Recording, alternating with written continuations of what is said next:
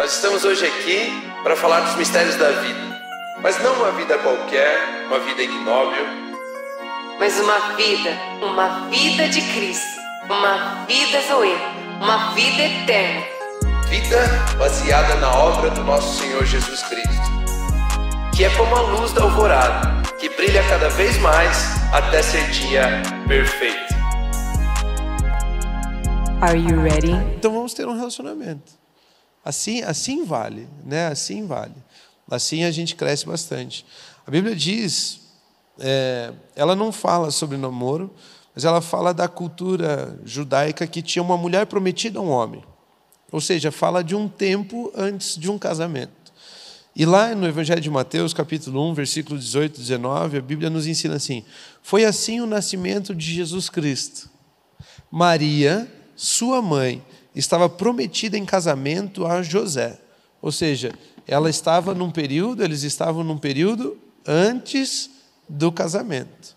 Mas antes que se unissem, ou seja, se estavam prometidos em casamento, casamento é uma união. Antes que se unissem, achou-se grávida pelo Espírito Santo. Por ser José, seu marido, um homem justo e não querendo expô-la à desonra, à desonra pública, pretendia anular o casamento secretamente. Então, aqui está falando a respeito de um momento antes do casamento, antes de se unirem. E está falando que ela se achou grávida. Se você não conhece a história, o que, que você pensaria dessa menina? Né? Teve uma relação sexual, né? engravidou, olha aí, José é bobão. Né? E a gente já interpretaria essa história de um monte de jeito. Hoje a gente lê a história e sabe, né? Ah, foi o Espírito Santo, né? Tem toda a história, Maria, Virgem, aquela coisa toda. E a gente conhece isso. Mas se fosse o tititi da nossa época, né? Na revistinha da época saiu lá, menina encontra-se grávida antes do casamento e papapá, papapá, e toda aquela acusação contra a vida dela.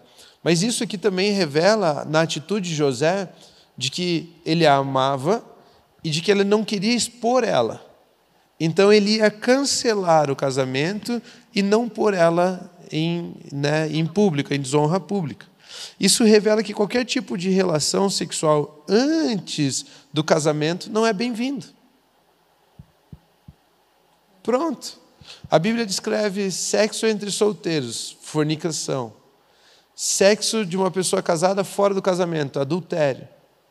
Sexo por qualquer tipo de benefício, recompensa, prostituição. Sexo com animais, com né, formas antinaturais, bestialidade. E ela descreve dessa forma e diz: a única lugar seguro para sexo chama-se casamento. Está na Bíblia tudo isso, né? Está né? na Bíblia. A Bíblia descreve dessas formas. Então, namoro é tempo de conhecimento, mas não tempo de conhecer a carne, tempo de conhecer o corpo. Né? Quando, quando a gente dá um conselho a respeito de namoro, e eu recebi esse conselho também quando namorava, né? eles disseram para mim assim: imagine que entre você e essa pessoa existe um espelho bem fininho, um espelho não, um vidro bem fininho. Bem fininho. Imagine assim um vidro, nossa, ele é tão fininho que você é, consegue conhecer a pessoa do outro lado. Consegue ver, ele não deforma a pessoa, às vezes tem aquele vidro grossão, ela se deforma. Ele é tão fininho que você consegue conhecer ela, ver as intenções, consegue conversar, consegue. Né, de tão fininho que é. Só que, se você passar de um certo limite, esse vidro quebra. Eu não sei quem já viu um vidro quebrado, mas não tem como transformar ele em algo, né? não tem como colar aqueles caquinhos para ele voltar a ser aquilo que era. Né? Aliás, todas as vezes que você tentar consertar aquele vidro, você só vai se cortar e vai machucar ainda mais. E a gente vê muito relacionamento machucado por causa de um vidro quebrado.